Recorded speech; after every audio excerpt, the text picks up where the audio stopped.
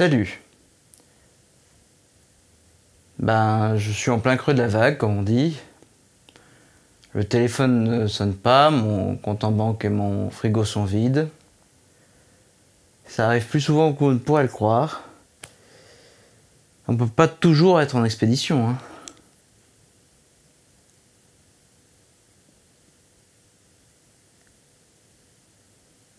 Pourquoi j'enregistre ça, moi, déjà? Oui. Je me suis dit, ennui, paresse, paresseux, mapingari.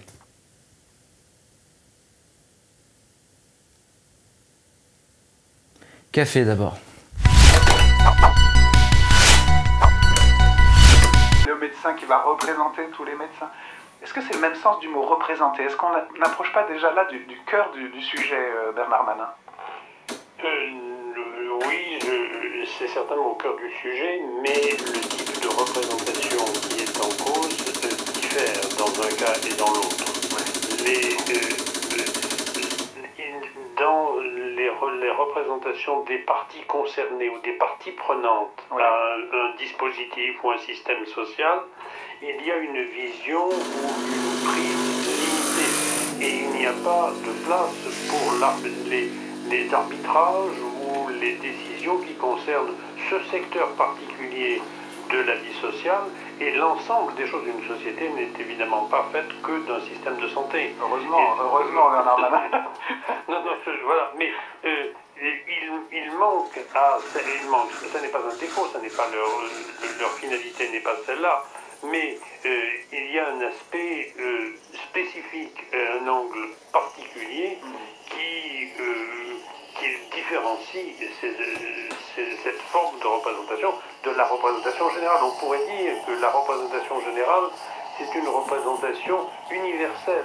N'importe quel sujet de la vie sociale ou de la, tenant à l'unité politique est, une, est un terrain possible de la décision. Le Mapingari fait partie de la mythologie amazonienne. C'est un cryptide, donc on suppose son existence, mais rien ne l'atteste pour le moment. Pour certains, c'est un genre de paresseux géant. On l'appelle animal rugissant ou aussi animal fétide. Et on le connaît davantage sous le nom de Mapingari. Mais il est aussi connu sous le nom de Capelobo, la cape de loup, Mao de Pilao, main de pilon, P de Garafa, pied de bouteille, Juma ou simplement Bichot, qui veut dire bête. Joli sobriquet.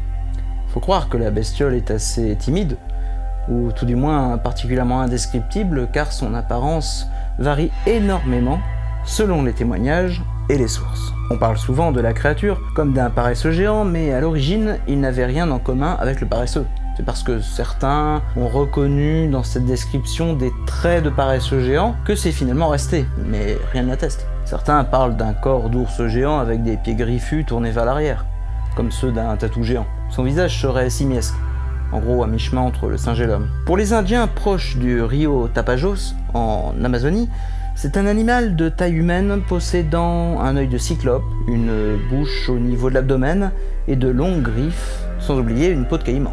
Il traînerait un nuage de coléoptères volants attirés par son odeur et rugirait comme un tonnerre sans fin. Cependant, lorsqu'on creuse un peu, il y a des signes distinctifs qui se recoupent.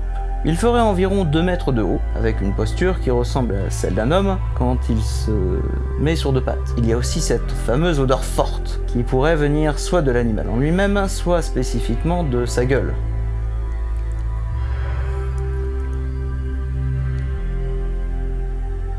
Serait une odeur extrêmement nauséabonde et handicapante. Le truc bien corrosif, genre euh, ail ou ammoniac. Il serait aussi recouvert d'une épaisse fourrure frisée rouge et noire, recouvrant une peau renforcée qui la rend quasiment invulnérable aux balles et aux flèches. Sacrée créature, hein. Contrairement à d'autres cryptides comme le Sasquatch ou le Yeti, ou encore le Bigfoot, le Mapingari ne semble pas craindre l'homme. C'est au contraire un prédateur particulièrement vicieux qui massacre tous ceux qui se trouvent sur son passage. Donc, gros paresseux, oui, mais qui se du mauvais pied donc. David Oren, un biologiste ornithologue formé à Harvard et Yale, s'est penché sur le cas de cette mystérieuse créature. À l'occasion de missions zoologiques de l'état de Pará au Brésil, il est rentré en contact avec plusieurs chasseurs qui auraient rencontré la créature. Il a consigné et analysé leurs témoignages et il en a conclu une chose. Le mapagari serait une espèce vivante de paresseux géant que l'on croyait éteinte depuis au moins 8000 ans. Ce paresseux géant, on l'appelle aussi Megatherium. Pour vous donner une idée du gigantisme du mammifère, c'était plus grand qu'un grand éléphant. Il faisait partie de la famille des xénarques qui inclut le paresseux moderne, les tatous ou encore les fourmiliers. On a retrouvé en abondance des fossiles en Amérique du Sud, au sud du Chili et au nord de la Floride. Pour David Oren, le mythe du Mapingari pourrait tirer son origine au moment où les premiers habitants des mers du Sud ont rencontré les derniers paresseux géants. Ensuite, l'histoire de la créature aurait été transmise plus ou moins fidèlement de génération en génération, donnant à la créature une aura plus malfaisante et monstrueuse qu'à l'origine. Cependant, David Oren n'exclut en rien qu'une telle créature ait pu survivre jusqu'à nos jours. Cette hypothèse se base en grande partie sur les quelques centaines d'autochtones qui affirment avoir vu des créatures similaires et une poignée de personnes qui disent avoir eu un contact direct avec eux.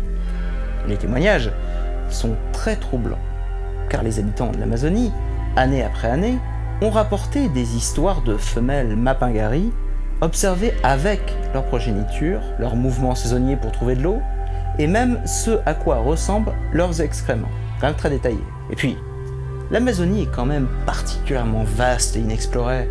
Chaque année, on découvre de nouveaux animaux dans ce labyrinthe vert difficilement accessible.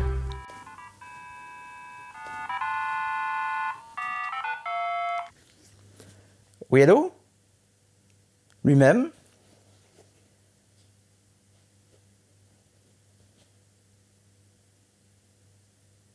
Oui, écoutez, je pense pouvoir me libérer d'ici 2-3 jours. là, je, vous reçois, c'est un miracle. Je, suis en pleine jungle.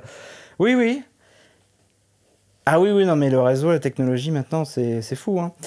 Euh, oui, bah écoutez, moi, je peux vous recontacter, euh, je pense, d'ici 3 jours, quand j'aurai euh, trouvé le premier village. Comme ça, je pourrais vérifier mes documents, mais oui, oui, il n'y a pas de problème. D'accord. D'accord, on fait ça. Oui. Bon. Vous aussi. À très vite. Les affaires reprennent. Bon. Avant de partir, une petite citation. L'ennui est la seule chose horrible dans ce monde. C'est le seul péché pour lequel il n'existe pas de pardon. Et c'est Oscar Wilde qui le dit. À la prochaine.